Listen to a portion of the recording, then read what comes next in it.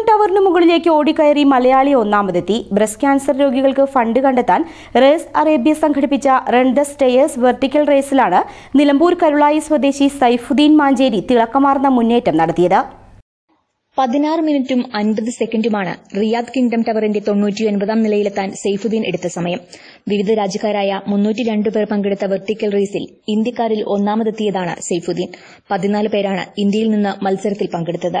ശനിയാഴ്ച രാവിലെ കിങ്ഡം ടവറിൽ നടന്ന മത്സരത്തിൽ നായിഫ് ബിൻ ഹുബൈഷ് എന്ന സൌദി പൌരനാണ് ഏറ്റവും ആദ്യം ടവറിന് മുകളിൽ എത്തിയത്. പതിനൊന്ന് മിനിറ്റും അൻപത്തിനാല് സെക്കൻഡുമാണ് അദ്ദേഹം എടുത്ത സമയം.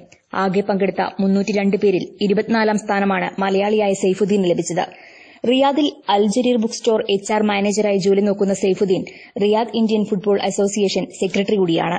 News bureau Karulayi.